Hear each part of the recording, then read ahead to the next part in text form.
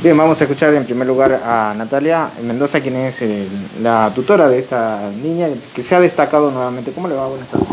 Hola, muy buenas tardes. Bueno, sí, yo soy la mamá de Jazmín y en esta oportunidad, bueno, mi hija había participado de, un concurso que se denominaba eh, Tucán, Queremos Verte Bien. Sí, un proyecto lanzado por organizaciones de Tucumán, de Salta, de Jujuy eh, Catamarca con el objetivo de que los, niños, los alumnos de quinto, sexto y séptimo grado puedan concientizar, ¿no es cierto?, a la comunidad sobre la importancia del cuidado de los tucanes.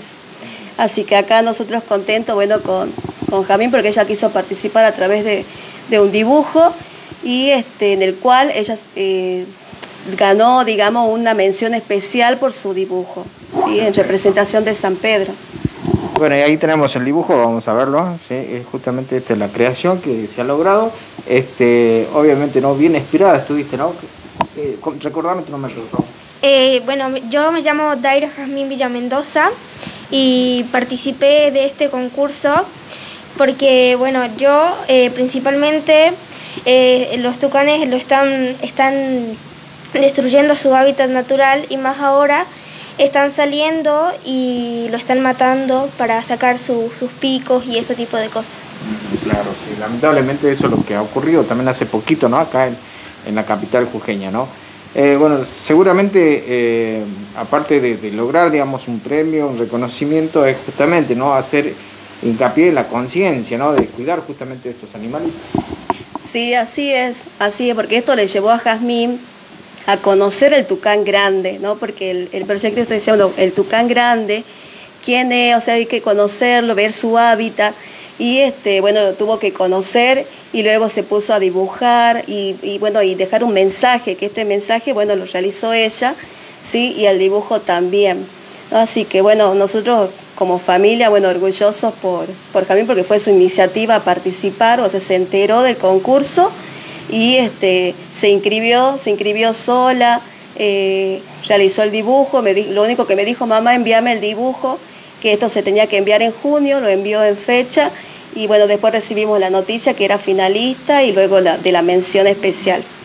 Esta es la segunda oportunidad que ella es noticia también por algo destacado. Así es, así es, porque en el año 2018 ella fue como la niña más lectora de la provincia de Jujuy y ahora representar a San Pedro de Jujuy con este reconocimiento, ¿no? De, a través ya del arte, del dibujo. Así que muy contenta como, como mamá, nosotros como papás, orgullosos por, por los logros de Jazmín, que nos permite pasar estos momentos muy lindos, ¿no? Muy gratos. Bien.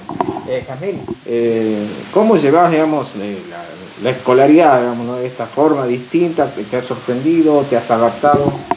Eh, bueno, sí, al principio me iba complicando un poco, eh, pero a medida que iban haciendo temas diferentes y, bueno, eh, estamos conectándonos por un, por un medio que se llama Zoom, donde ahí la señora nos va explicando y, así. Hay veces que no nos podemos conectar y eso, pero igual de todas maneras las señoras están para ayudarnos. ¿A qué escuela estás concurriendo? voy al Colegio Privado Luz.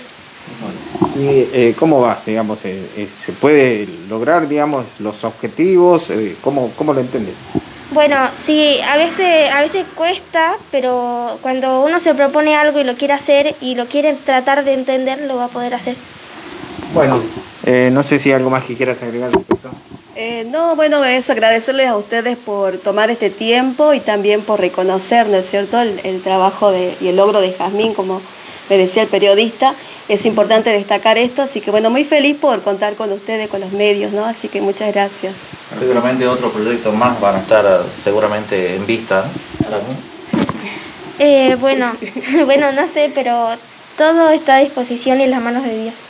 Muchas gracias. Muchas gracias. Gracias a ustedes.